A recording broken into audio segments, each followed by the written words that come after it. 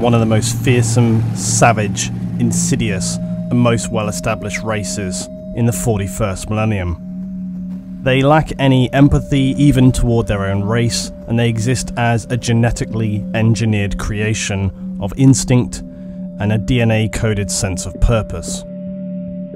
They are created for one task and one collective goal only to wage unending war.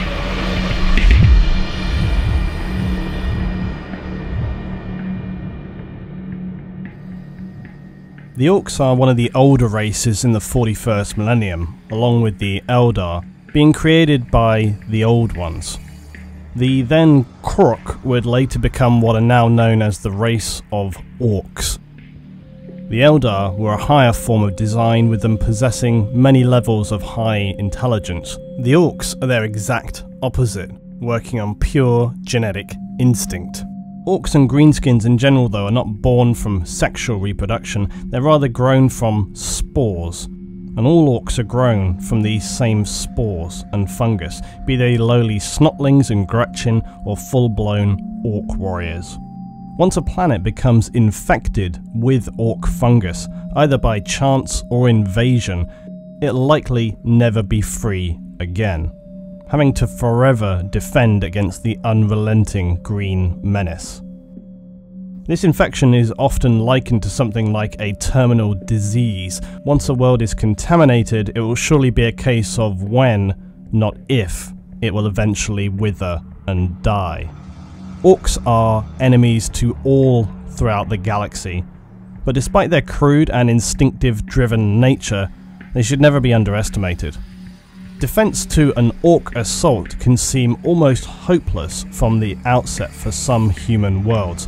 With all their strength and power that they can wield, to fight the orcs is nothing other than a battle of attrition. A slow, grinding down of morale and willpower. For a successful defense against any assault from the Greenskins only buoys their spirits and emboldens them further to attack again with more fury and more enthusiasm. They won't relent, they won't slow or surrender. There is no respite, there is no escape. A planet infected by the Orc menace is a doomed world.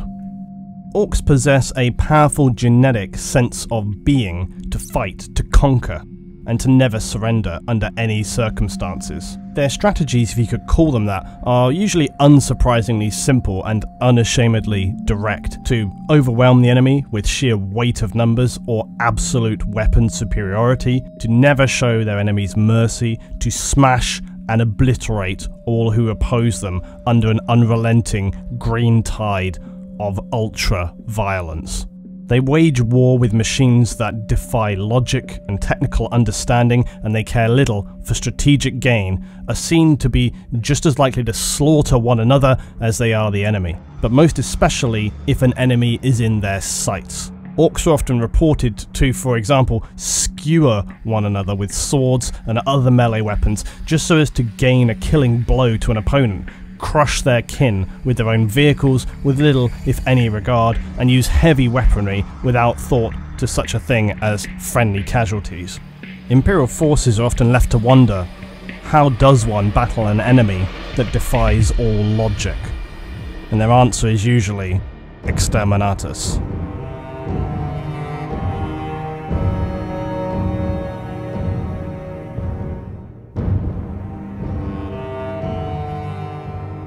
The orcs, as mentioned previously, are an engineered species. They were created some 60 million years ago by the Old Ones, who also created the Eldar and seeded life across the galaxy. The Orcs were created, as were the Eldar, to wage war against the Necrons, the ancient enemy of the Old Ones. And the Orcs would refer to their creators as the Brain Boys. Now, while the Eldar were made to be highly intelligent with extremely powerful psychic powers so as to best counter the Necron and C'tan threat, the Orcs, then Krork, however, were the antithesis of the Eldar. Muscle bound, irrationally aggressive, and rarely showing signs of advanced intelligence. They're driven by designed instinct. Orcs, you see, require war and brutality as others might need food and water to sustain them. To an orc, war and brutal savagery is not a desire, it's a physical requirement to their identity. And this is why they often fight amongst themselves as much as they would any outside races. While they do possess advanced tech, it is maintained by a class known as Odd Boys, who, as with all other orcs, are driven more by just a gut feeling, a born knowledge, than a true awareness of what they're actually doing. Unlike the Imperium of the 41st millennium, the Odd Boys possess the instinct of skill to not only maintain, but more importantly, to actually develop technology, if you can really call it such. This skill isn't learned or researched by any conventional sense of tech development, it's instead bound into their genetics, as with all things orc, most of their skills are instinctive.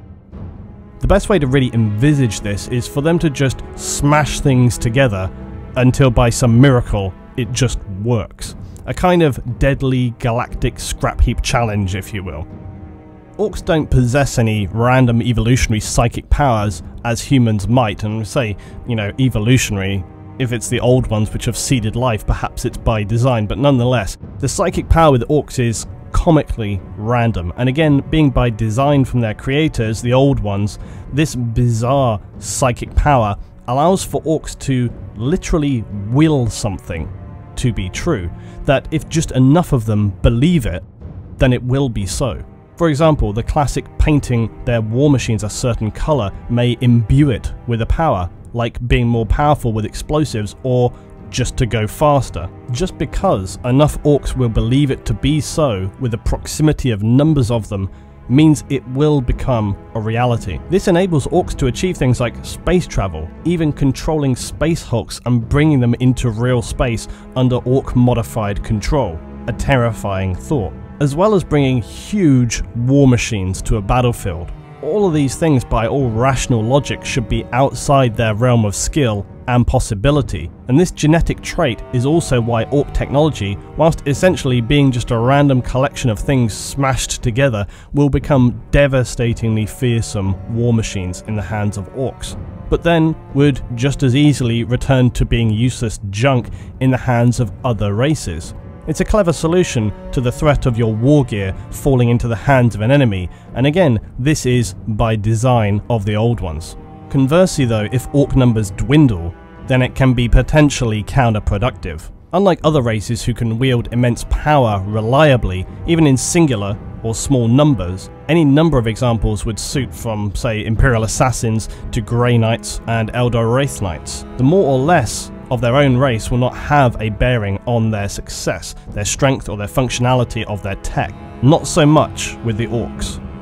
The awareness of this orc psychic functionality came into general understanding through the Imperium of Man's tech priests, who, through their own cultivated belief in a machine spirit that inhabits technology, and that this machine spirit serves mankind at the command of the machine god. This imbued them with a perspective and point of reference that enabled them to see the truth of how orcs were able to bring technology to the fore that should have been far out of their reach. Lastly, the orc race's anatomy is particularly interesting. The old ones obviously wanted the orcs or krork to be functional as a warrior race, a biological war machine. But before you have the ability to wage war, you still have to fulfill any life form's basic needs, like sustenance, food, water, the basics of life. The old ones in their wisdom imbued the orcs with a powerful genetic advantage here on top of their already many powerful genetic traits. For one, when it comes to food and liquid intake, the orcs can use their own growing fungus as a food source. They'll happily eat pretty much anything though when it comes to meat and the lower orc forms of snotlings will cultivate this fungus food. The more interesting elements of their biology though is that orcs really are something like a symbiotic animal fungus hybrid, making them partly eukaryotic in nature. Now fungus was historically part of the plant kingdom, but fungi lack chlorophyll, the green pigment in plants that converts light energy to chemical energy. They also have other distinct structural and physiological features and are so classed separately from plants. Now, it has been suggested that orcs' green skin and their blood could directly contain chlorophyll, so as to allow orcs to actually photosynthesize as a plant does and thereby provide orcs with some energy so they can survive longer without actual food. Now, the only problem, this makes absolutely no sense for the reasons that I just mentioned. Fungi don't have chlorophyll. So, if orcs grow and were cultivated as a plant based life form, in part, this would actually be more reasonable. But they're not, they're grown from fungi. So, apparently, the Genetor Magos biologists of the Imperium should actually do some more microscopic comparisons before they reach their conclusions. However, it's also suggested that orcs in their blood and bodies may contain some sort of algae, and that this might be actually what's responsible for the coloration and then also possibly the ability to photosynthesize to a degree. This is a more reasonable concept, but as with all alien races, information is pretty scarce, and speculation is abound. So this one point aside, other orc anatomical interests are that an orc's animal fungal symbiosis means that they actually contain less critical organs than say a human, meaning orcs can afford to take wounds and damage that actually might kill a lesser creature, but it will allow them to continue functioning. Part of the reason they are so surely haphazard when in battle, almost careless, is their bodies are essentially designed to be simple, practical, and operate even when catastrophically damaged, which rings true of everything we know about their purpose and their design. They were designed to be a biological war machine and nothing more. Orc growth, though, is a strange thing, whereby orcs will grow according to, I suppose, unsurprisingly, how violent they are. They'll generally continue to grow at a varying rate dependent on how successful they are in combat, be that versus other orcs or their enemies, and then their growth will stagnate again.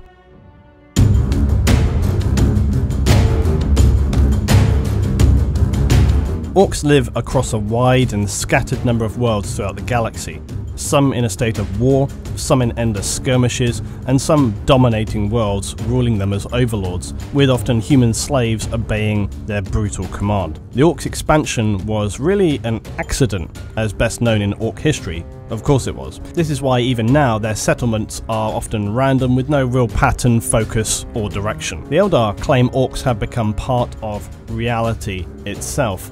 Mankind, as well, scouted, probed the galaxy, all of the known galaxy, and everywhere that they explored, they found the Orc. The galaxy at this point is contaminated beyond any hopes of cleansing and salvaging it from the Orc. Because of the random and haphazard fashion by which orcs discover, explore, and inhabit the galaxy, they have splintered into various communities, if you want to call them that. These communities are usually just a confederacy of tribes, either loosely or under a warlord. Each tribe is a random bunch of orcs just smashed together with clans and various mechs and materials. It's a mishmash of violence and constructivity. It's best not to overthink it. It bears no resemblance to any ordered sense of a community or a society. Orcs have known of mankind and their emperor for some time. They know that humans worship the Emperor and have seen his shrines and symbols across human society. They regard the Emperor as the god of the humans. And this is easy for orcs to understand as they have their own gods. Even though they see humans as weak, they do respect the Emperor as a powerful war god. From the orc point of view, the Emperor is a constant warlord to the humans. They see him everywhere in human society, and so do the orcs. This widespread war god must surely be powerful, and therefore to be respected. Some orcs speak of a legend where the Emperor would appear as a manifestation challenging the orc gods to battle, but still, despite this, he's also seen to the orcs as a confusing figure. Why he would command his human servants to take on so many pointless tasks when they could be just fighting makes no sense to the orcs. The humans' constant failures or their stress and despair seems to underline this confusion for orcs, hence why they often use the word ooman as a slang for things that are pointless, impractical, or just counterproductive. The orcs' attitude to life is fairly simple, and therefore they cope with the realities of the universe far better than many other races. With no overarching goals and day to day concerns being really only whether to build or fight or eat, it's quite a stress free life especially when you have no fear of your own mortality from an orc's point of view. Generally speaking, they don't try to influence their own destiny, they don't try to apportion blame unless it's some stupid Gretchin looking to get his head bashed in. Their hatred is spread equal among their enemies and their allies, and if they fail, they feel no guilt, try again in a different way. Unlike humanity, Chaos has little to any fear or effect with orcs. Their minds are hardwired to their simple day-to-day activities, so dreams of power and turning against each other for some cause is not something that's likely to spread very insidiously through a tribe of orcs. They're probably too busy already killing each other over some far more trivial matter. And because of their simple and objectively speaking stress-free lifestyle, it leaves little psychic stress by which chaos can actually invade them. Also, even though some races may look upon the orcs as evil, either due to their near mindless savagery or their endless conquest of worlds, this is actually a pretty ignorant perspective. Lumping orcs in alongside dark forces like Chaos or Dark Eldar is really a disservice to the orcs, because they exist by design, and they have become simply very effective at existing. They follow their instincts, and these are hard coded into their very being. Evil? I don't think so but brutally savage, definitely. It's also often mistaken that perhaps if one were to see Chaos and Orc fighting on the same battlefield, that they are somehow an alliance. In reality, it's probably more simply that the Orcs just see them as other fighters on the field, who they'll probably turn to deal with in short order once the nearer enemy to them has been battered into submission. And when it comes to trade, Orcs strangely do have this as part of their culture, and they use their teeth literally their teeth. It's actually a comically natural solution to economic inflation because orcs go through their teeth similarly to something like a shark. They replace and regrow them frequently. Orc teeth also degrade over time, so it's impossible to stockpile them. This keeps prices in orc trading constant and ensures that all orcs have access to regular currency and commodities. And besides, if you're running short on teeth, it's no problem, you can just go smash some other orc's face in and get yourself some more. Orc language is deemed as being low Gothic, and orcs are able to communicate with others, but at a very basic level. Orc script, though, is very different altogether, and it's actually written in glyphs. The core of this is simple clan indicators, and these are then adapted using phonetic symbols which can form some of the key orc words. It's pretty simple though because it's just generally not needed by the orc race. They function by design, not structure or organization. They have no need to keep records, log data, or any other useful societal function for writing and literature. These aren't important for orcs. The orc way is one of near anarchy. They're ruled by traditions and understandings much more than laws and governing. And it's pretty simple. Orc society is about conflict. Strong orcs will rise up, weak ones will work or are killed, and they in turn benefit from the leadership of the stronger orcs. If an orc tribe is beaten by a stronger one, the survivors gain the leadership of a better tribe, making them stronger. And there's no rules about a tribe's size, location, or purpose. It's just the rough grouping of orcs in a given area at a given time. And each is led by a warlord whose authority is pretty loose giving just maybe enough rule to prevent all the orcs from turning on each other. A tribe could be a few hundred strong, a few million. The literal numbers are not important. Large tribes are usually split into smaller groups of warbands which are ruled by war bosses. And these warbands are usually a few hundred strong, creating smaller forces ready to battle wherever it's necessary, or whenever they feel like it. While orcs will belong to a tribe, they also will belong to a clan. Now, a tribe may break apart into parts or form new ones, but clans are enduring and remain a reasonable constant from an orc point of view. Some of the most noted orc clans are as follows. Now, the Bad Moons, these are some of the most wealthy orcs. They're essentially what could be regarded as the merchant caste in orc society. The Blood Axes were the first Orc clan to encounter the Imperium of Man, and they adopted human tactics of camouflage, albeit slightly bright camouflage. And usually for Orcs they'll sometimes actually retreat having picked this up also from humans, but they'll usually return, and in greater numbers. This clan will sometimes even trade with humans, even having been known to work as mercenaries for them, which sounds crazy, but may be uncomfortably necessary. The Death Skulls are essentially looters and scavengers. They appropriate battlefield loot to make themselves stronger, including Imperial war gear. The Evil Sunz are orcs who are committed to speed and whatever makes them go fast should be as loud as possible. They also love flying vehicles like fighters, fighter bombers, and they usually seem to wear at least some red material, because as all orcs do know, red ones go faster. Goffs. The Goffs are simply tough orcs. They're the biggest, the most brutal, they thrive on battle more so than others, and they're driven by the blood fury of close quarter battle. Snakebites worship ancient traditions over advanced tech. They protect themselves with war paint and may even choose to remain as feral orcs instead of developing their skills with mechs and guns. Finally, the freebooters. These are the pirates. These orcs are notorious thieves, preying upon anything or anyone that they find. They'll kill anybody they see, they'll seize upon, haul their booty back to their hidden bases. So now we go to orc religion. Whether intentional or not, the old ones ended up imbuing the orc with a religious sensibility. They worship their two gods, Gork and Mork. One is brutal and cunning, and the other is cunning and brutal. The orc gods are the centre of orc energy. They drive and power their whole culture. The best idea we have of how the orcs perceive their gods is in their mechs. These are the physical manifestation of their orc gods and drive their followers into stupefying frenzies of violence and bloodlust. They're also seen in armoured battle suits Gorkanaut and Morkanaut. These armoured suits are seen as idols, and the orcs piloting these suits gripped with visions of their gods, urging them to fight on harder, faster, more brutally, and inevitably to meet their demise on the battlefield. While orcs often talk of Gork and Mork as separate entities, it's even possible they are one, perhaps with two sides, or provide different visions to different orcs. Still, it doesn't stop the orcs from often favouring one or the other, being known as either Gorkers or Morkers. One figure in the Imperium knows more of Gork and Mork than most others. He is Vulkan, the Primarch of the Salamanders. He is what's known as a Perpetual in the 40k universe.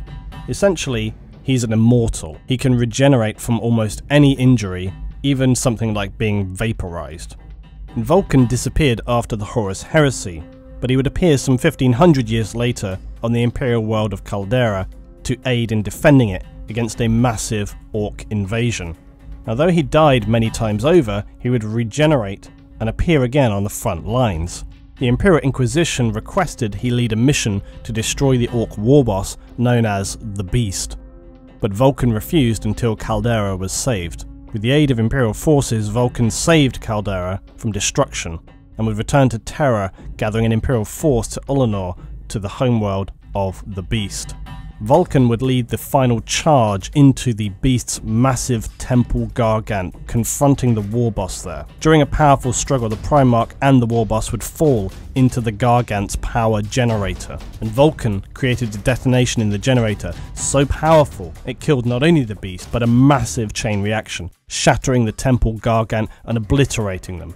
Vulkan presumed dead by the Imperium, but the Salamander Space Marines still hunt for him, believing him indestructible and that he will return to them.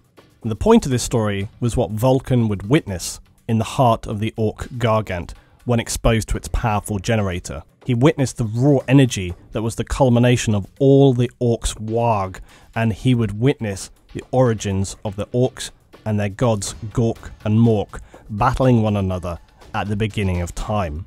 This powerful vision allowed Vulkan to understand the true nature of the Orcs, how they are a race of evolution through experimental anarchy.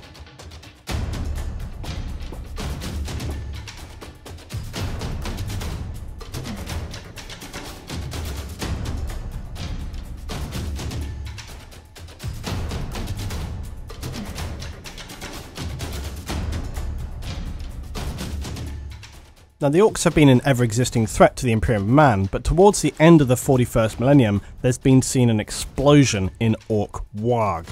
Now, the Orc Dominion, or Empire, marks the regions in the galaxy currently controlled by the Xenos.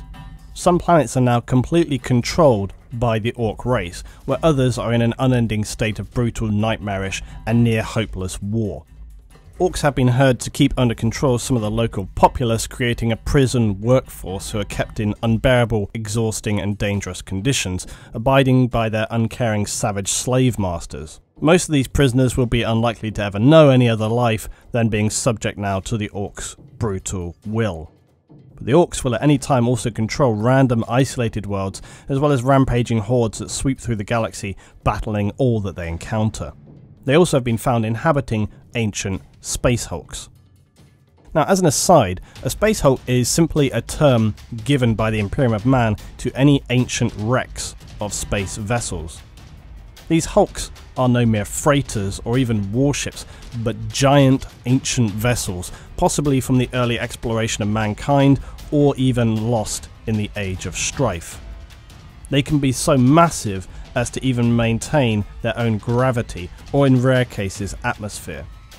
The hulks can often appear and disappear, transitioning between the warp and normal space. This makes exploring them extremely dangerous.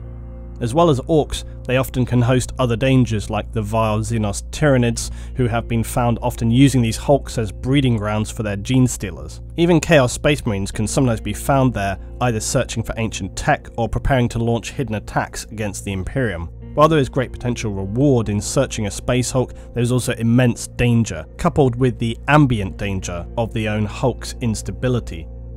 As such, searching these vessels is left to the elite warriors of the Imperium and the Space Marines, the Space Marine Terminators. They're some of the most heavily armoured units within a Space Marine chapter, and their ancient Terminator armour enables them to carry out the extremely dangerous task of searching the Hulks.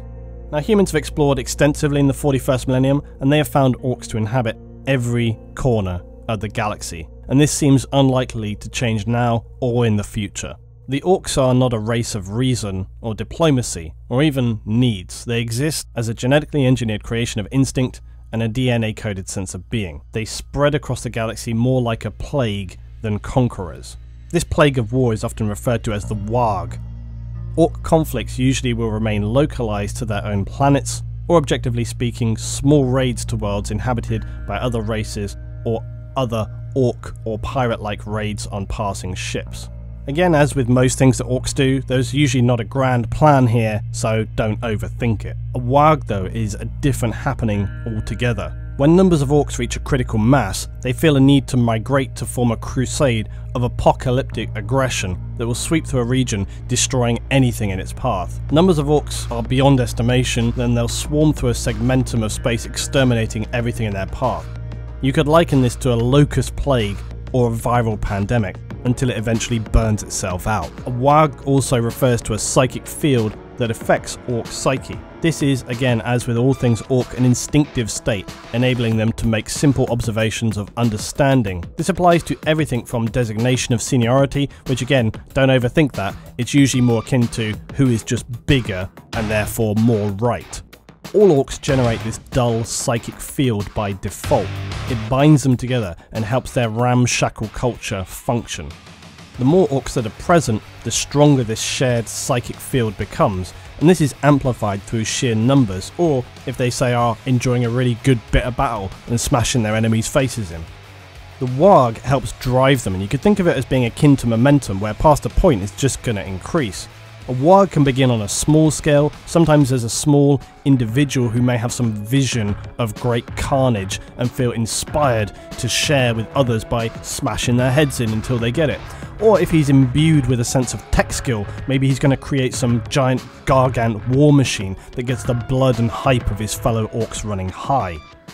The rumours of war and coming carnage spread like wildfire through the orcs, only exacerbating this sense of Waaagh. An orc war boss, who is simply a big powerful orc in command of his tribe, will usually rise to their aspired position through just basically beating the hell out of all around them until fellow orcs just get it that he's the biggest and the strongest. His decisions will be enforced by a ruling caste of orcs known as Nobs, and these are again a bigger than normal orc who will surely remind those below them of the fact at every opportunity with some casual violence. A war boss in a time of Waaagh will assert himself through unsurprisingly more savage, senseless violence towards his fellow orcs. When a war boss has created enough blunt trauma to be recognised as a powerful boss, he'll then be deemed an orc warlord. As his status spreads, more and more clans will come under his control, growing an unrelenting green mass of aggression. The Meks and brain boys will build ever more outlandish creations absurd in their brutality and genius in their creativity. Vicious war machines belching smoke and oil, poisonous vapours, acrid smoke, mobile fortresses, titanic war engines created from basically random scrap metal and abandoned, twisted, now cannibalized war engines. As the war boss grows ever stronger toward becoming the warlord, he will subsume his challenger's armies, with many of the orcs now seeking the sense of Waaagh with a bloodthirsty insanity. Mek boys raise towers of Waaagh, and gargants will start to be seen. Gargants are the equivalent of Imperial Titans and so represent a world ending level of firepower. These Gargants are idols or seen as avatars to the Orc race as manifestations of their gods Gork and Mork. They are merciless weapon assemblies of sheer destruction. Gargants form no standard pattern of design, as does barely anything in the Orc way of creation. They are instead a random collection of parts and combinations of cannibalized war machines. And this excitable and chaotic nature of these builds makes their weapon systems unreliable. Their whole design is haphazard and probably about as dangerous to the crew as to their targets on their battlefield. A clear difference between most Orc war machinery and other races in the galaxy is they don't utilize guidance systems commonly. They also carry large crews of Orc and the lower smaller race of Gretchin, they operate these war machines as a team, passing down orders as you might imagine a steamship of, say, the 19th century, calling down orders to the engine room and so on. Gretchins are significantly physically smaller than orcs, and so they're used to repair systems on the go by crawling into tight spaces. Gargants are usually weaker in terms of armour compared to Imperial Titans and relatively shorter range of weaponry. However, they're still difficult to destroy because of the compacted, dense nature of their construction. There is one rarer variety above a normal Gargant known aptly as a Mega Gargant. And this is essentially a mobile fortress running on tracks. Imperial tales tell of orcs laying siege to cities, spending even as long as 18 months to construct these colossal machines of war. Returning to the apocalyptic Waaagh, the continuous swelling of orc mobs starts to reach a critical mass. Ships and transport vessels are smashed together, and the Orc armies reach a point of no return. This wave of violence now comes crashing down as the Orc armies overflow with bloodlust, descending into battles that consume entire worlds. The Gargant idols further trigger the instinctive drives of the Orc clans and tribes who would do anything to outdo each other's destructive capabilities. At some point, this wave of fury and raging violence reaches its boiling point, and the orcs begin to gather their great Waaagh army. The ground shaking under the weight of tracked vehicles and striding walkers. The skies turned black from flyers, belching out blackened exhausts, and their ragged banners of brutality raising high atop these rusting, illogical contraptions of war. Orc Waaaghs are very decentralized and have very little true coherency, even with a powerful war boss or warlord overseeing things. Various fragmented factions will exist in a Waaagh, cults of speed for example, whose principle is to go fast. Essentially speed freaks who love the thunderous roar of an engine, and if they can shoot some guns at the same time, all the better. Probably driving over and crushing some of their own kind in the process. Storm Boys are elite shock troops who strap huge rockets on their back to make sure they're first into battle, charging with no thought much to the consequences. This is actually frowned upon by many orcs as they prefer to charge in under their own feet to get physically into the battle. Still, seeing a Storm Boy's volatile rocket pack malfunction go spinning off into an exploding disaster, certainly killing the pilot in the process, is great entertainment for the comrades on the ground. And then, of course, you've got the Mad Boys. These are orcs overwhelmed by the psychic energy of Waaagh. And they also can occur when clans of orcs inhabit a planet and have to develop their own technology over generations of spawned orcs. Either way, Mad Boys don't coexist well with their kin. They're essentially best described as feral, which is saying something by orc standards. These feral, crazed orcs are also known as nutters, and they're grouped together into squads who will either be a secret tool to success when unleashed on the enemy, or a hindrance when they accidentally slaughter any fellow orcs they happen upon. Once combat begins, Mad Boys can still be some of the most savage fighters to an orc foe, or fellow orc alike, ripping them to pieces. Still, they're just as likely to sit in a whimpering huddle, unable to move, overwhelmed by psychic confusion. No orc can tell exactly how they're going to behave, and making them an unpredictable and extremely dangerous force to bring onto the battlefield.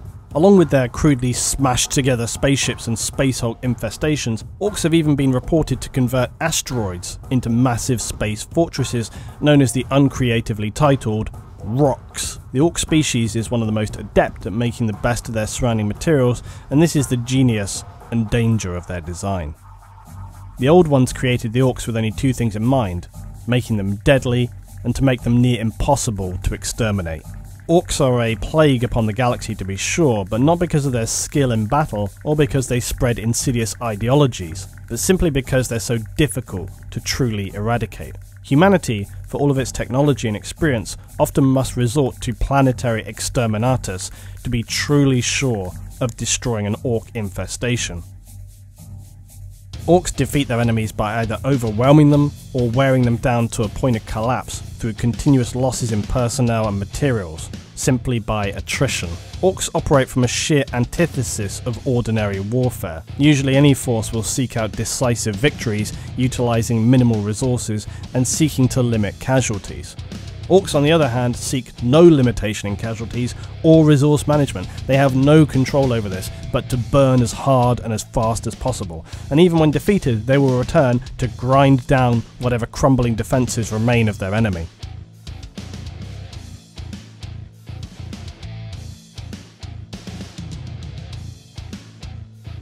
Now, there are many individual stories and tales of orc warlords and bosses, as there are within the Imperium and its various leaders, captains, and general history.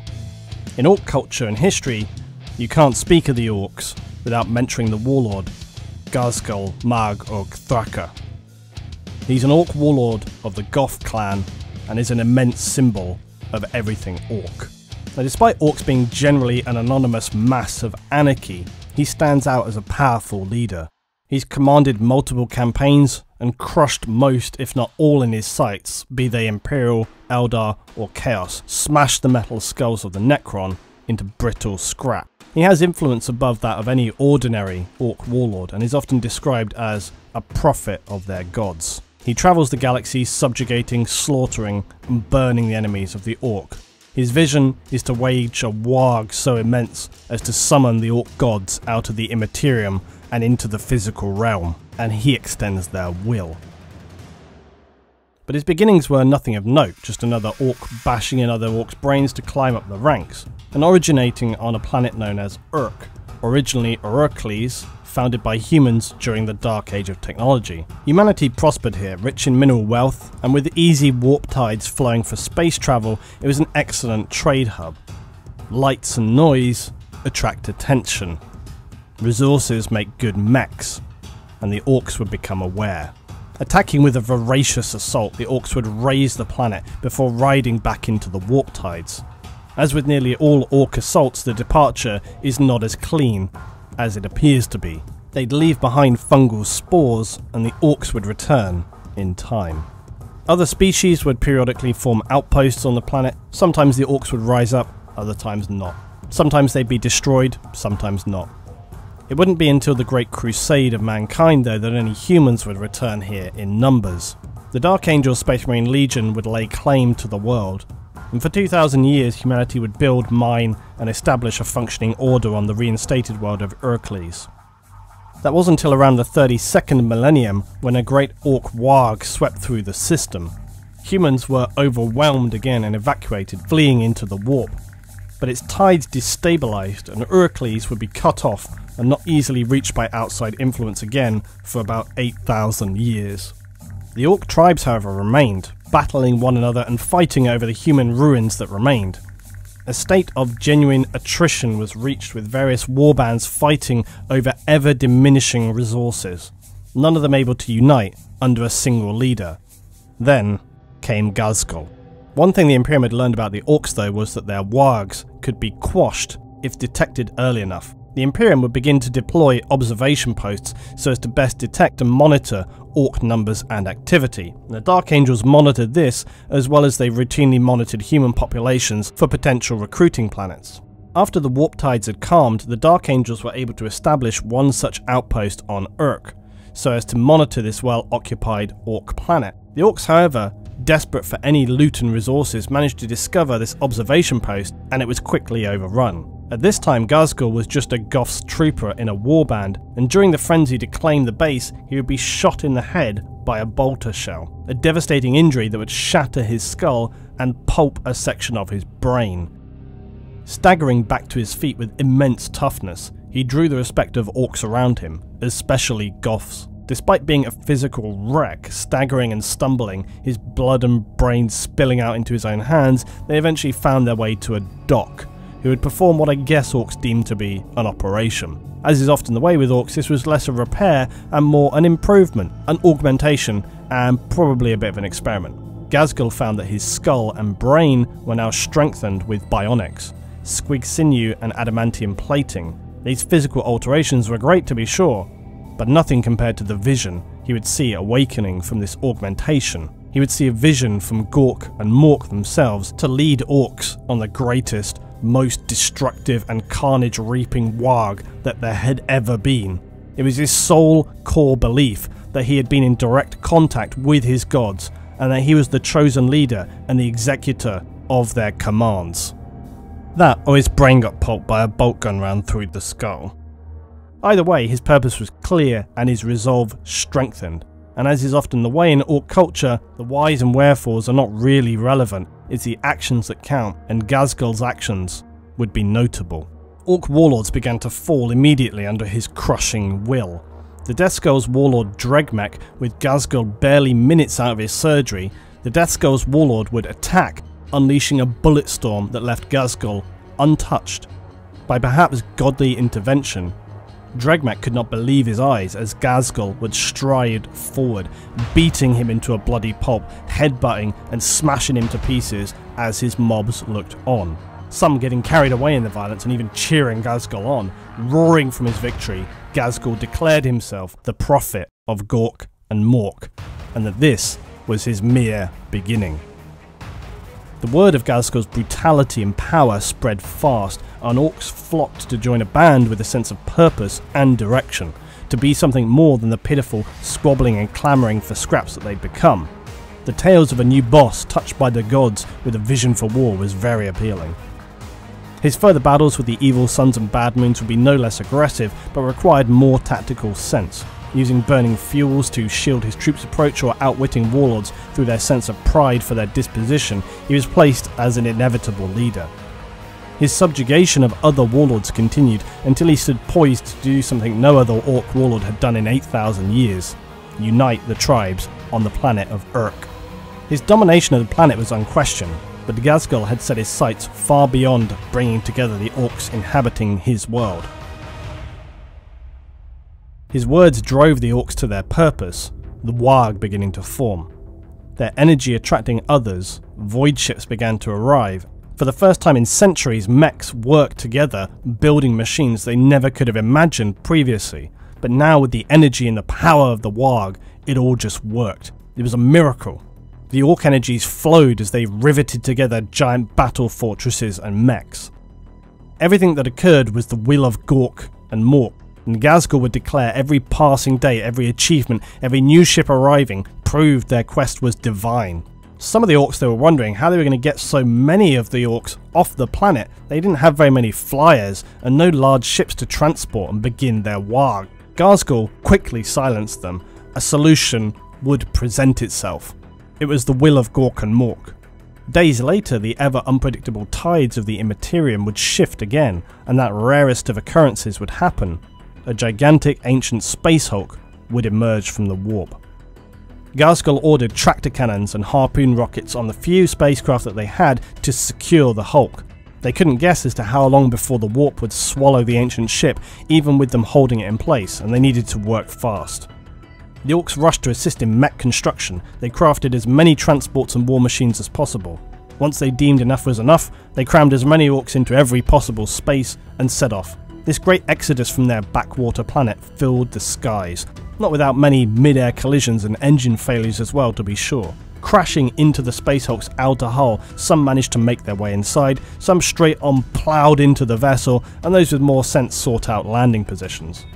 The Orcs soon discovered that they weren't alone on the Space Hulk, with wave after wave of demons spilling out of its corridors. Battling through the horrors, Ghazghkull and his band fought through to the centre of the Hulk, where they found merged and jumbled by the warp was the ship, the Dominion. This was the vessel the humans had attempted to flee from the planet on some several thousand years ago, and seemingly it had been swallowed by the warp, its human occupants devoured by the demons as they lay trapped in their vessel. The void rift that was spilling demons had to be closed, but Ghazghkull, after ordering his orcs to fire everything they had, was furious to discover it had no effect. His own weapon, even his own power claw, eventually with a massive headbutt and a flash of green light, that did the job, closing the demonic portal. It seems likely his latent psychic energy was what effected this in closing, but for the orcs observing, it was only further imbued their belief that this warlord was a force like no other. Ghazghkull now named his conquered Space Hulk the Orc warship World Killer. The ship would drift on for an undetermined period of time, in which the orcs would explore, loot, and generally rip off whatever they could find on board, cannibalising the ship and using its materials to craft ever more powerful Meks and weapons. They appropriated everything they could lay their hands on and built everything they could lend their hands to. The best scrap would often lead to infighting and rivalry, all a positive thing for the orcs to keep their tensions and blood up. It would not be a quiet period though, travelling through the warp in such an unsecure vessel is dangerous, and many times they'd be assaulted by further demonic incursions. And these assaults only further heightened the orcs' Waaagh until the entire Space Hulk was seething with orc energies.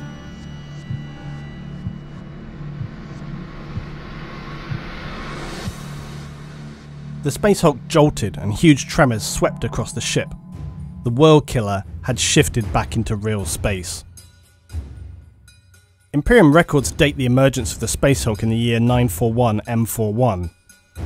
They were headed for the core planet of the star system, an Imperial world aptly named Armageddon an industrial hive planet where thousands of years of extensive industry had left it a barren wasteland with a totally collapsed ecosystem. Humans only survived in the concentrated hive cities that stood kilometres tall, and also in the Imperial military facilities stationed there. Food needed to be imported off world, and no life existed outside of the hives. It contained multiple vast manufactorums vital to munition supplies for the Astra Militarum but with one of the most savage and relentless Waaaghs ever seen headed straight for them, it seemed like nothing was going to be able to stop World Killer and its crew.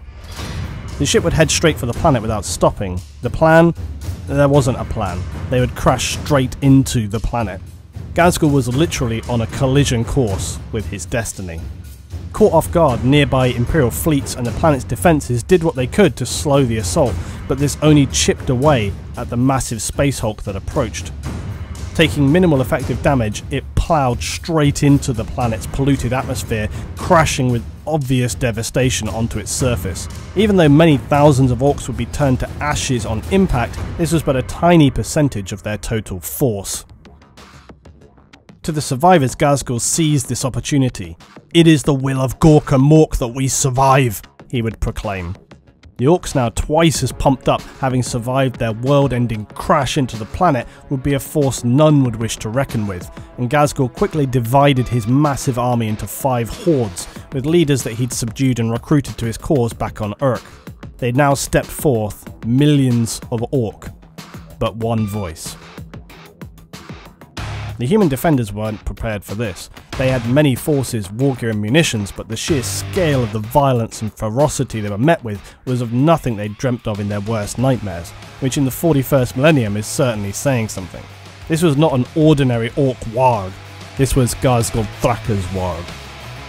The orcs showed expectedly no mercy at any instance, and they defeated the humans on the wastelands with their speeders and battle wagons, ruined enemy supply lines and cut down anything that moved and they quickly turned their attention to structures that they had never seen before. These hive cities, taller than mountains, industry and engineering on an imperial scale. The Meks stood in awe, so much scrap they would have murmured. At the first hive they encountered, despite the Imperium putting up a formidable defense at Hive Volcanus, heavily fortified, this would take all of Ghazghkull's cunning. He had his gargants, but he wanted to take this city with orcs on the ground, scorching, burning, and reaping through the trenches. The Orcs would smash, crush, and break this city. Using his visionary choices of units, Ghazghkull crushed the human defences quickly, and on breaking the gates, unleashing a wave of infantry. His will was executed perfectly, a tall order for an Orc Waaagh. Desperate humans resorted to guerrilla warfare, but despite much heroism, the Orcs swept through like a plague, slaughtering and enslaving its occupants. Its manufactorums were quickly converted to orc workshops. Human slaves turned to stripping their own city for every scrap of resource that could be used to fashion more orc Meks. Now, on the planet of Armageddon, one human stood out from the general perception of the orcs as a weak and puny race Commissar Sebastian Yarrick. He drew unusual respect from the orcs, not least because he wore Goff colours of the black and red, but also sporting an augmented power claw and bionic eye. This was a human the orcs could get on board with. Even more so when they learned from enslaved humans that they often feared Yarrick as much as they feared their other enemies. Yarrick known for shooting disobeying soldiers out of hand. Orcs upon seeing him in battle though were often disappointed to see he wasn't quite as big as they'd imagined, he was only a human sized figure. Oh well, he was an uncompromising warrior nonetheless. Yarrick was the man credited with withstanding the Orc assault on Hive Hades for a significant period of time. This assault brought the Armageddon War to a new level of brutality. The Orcs had already sacked two Hive cities, and Hades stood next in line. The Imperium, in desperation, would launch virus bombs, devices not used since the time of heresy against the Orcs, and even though hundreds of thousands of Orcs would perish, it wasn't enough. Ghazghkull wanted Hades, and he would direct the assault himself. He tried everything he could think of, growing ever more frustrated all the time, but all his traditional assaults would fail time and time again. Eventually, he summoned his weird boys to use their Waaagh consumed minds to blast a psychic storm at the Hive. Consumed by madness, the human defenders fell apart, but still the humans couldn't be defeated. The Orc flyers were ripped apart by anti-aircraft fire, tunnel fighters cut their orcs trying to advance underground to pieces, and human suicide assault squads took down the immense orc gargants. All this would be Commissar Yarrick's doing. Ghazghkull by now had become fixated and obsessed with bringing down Hive Hades, his vision and judgment clouded by the frustration and needing to bring it down. While still battling this bitter assault, he would direct an orc horde to assault another hive city, Acheron, perhaps in the hope to divert resources away or gain a victory and rally his troops to greater energy. But then, the worst possible development for the orcs. Orbital bombs rained from the sky as roaring Space Marine Thunderhawks would sweep down into the planet, the Blood Angels, Ultramarines, and Salamanders. The Emperor's chosen warriors were here to defend Armageddon. Ghazghkull was still so blinded by fury in his efforts to defeat Yarrick and Hades, he was unable to think with clarity enough to counter the arriving Space Marines. He would throw everything he had to take down his obsession, breaking in the blast doors of Hades in a final rampage. The Space Marines would be too late to save Hive Hades. Its citizens massacred. With Ghazghkull's numbers now though severely depleted and loosely scattered across the planet, he consolidated his last reinforcements to a new hive, Tartarus. The planet stood at a crossroads, even with the arrival of the Space Marines. They would deploy even as the Orcs began their assault with Meks, stompers, and even Gorkanauts. The battle though was not in the Orcs' favour, but then Ghazghkull himself arrived. The Orcs could taste things were turning for them. But then, just as quickly as he arrived, he'd gone. Chatter spread quickly through the orcs that the war boss had fallen. They began to waver to break, and the Imperium crushed the remaining orcs, driving them from Armageddon. But the orcs thinking Ghazghkull had fallen in battle was not so. Ghazghkull was not slain, but he did disappear from the battlefield. Rumours spread that the hand of Gork had plucked him from the battlefield, and his detractors would say fled, usually to be met with a swift headbutt from a nearby orc putting them in their place. However, it did happen. Ghazghkull had escaped. After Armageddon, Ghazghkull did not rest. As with most orcs, defeat is not really a thing, it's just a stumble, a setback, a chance to have another go. This was the beginning for him in his larger journey, a plan of Gork and Mork Yarrick recommended the Imperium hunt down this brutal war boss and eliminate him once and for all, but the Imperium assumed him dead or defeated and didn't want to spend the resources or time to locate an orc they were sure that that was the last they'd see of. This was a grave error of judgment, as is often the case with most things in the Imperium. To the Imperium's mind, his Waaagh had failed, and therefore, even if he did survive, orcs would not look upon him for leadership with his energy deflated. After losing a battle, while orcs will happily try try again, they'll often topple their leader as is their natural order of things. But not so with Ghazghkull. While he may have had to defeat several challengers in brutal fashion after he regrouped with various orc tribes to remind them just who he was, he would begin gaining new followers again. Curiously, for an orc, not just with his actions, but with his words. To him, the invasion of Armageddon had been a starting point, a testing of the enemy to find their strengths and their weaknesses, a large scale intelligence gathering, orc style, leaving millions dead and burning cities in its wake. And in this, they gained much useful information. Now Ghazghkull knew about Imperium strategies. He would regroup, rebuild, and restore his prophetic Waaagh. He would reveal to his fellow orcs in order to destroy your enemy, you must know him. To the orcs, this is about as profound as it gets, and their spirits would reignite. The second coming of Ghazghkull Thraka was only a matter of time.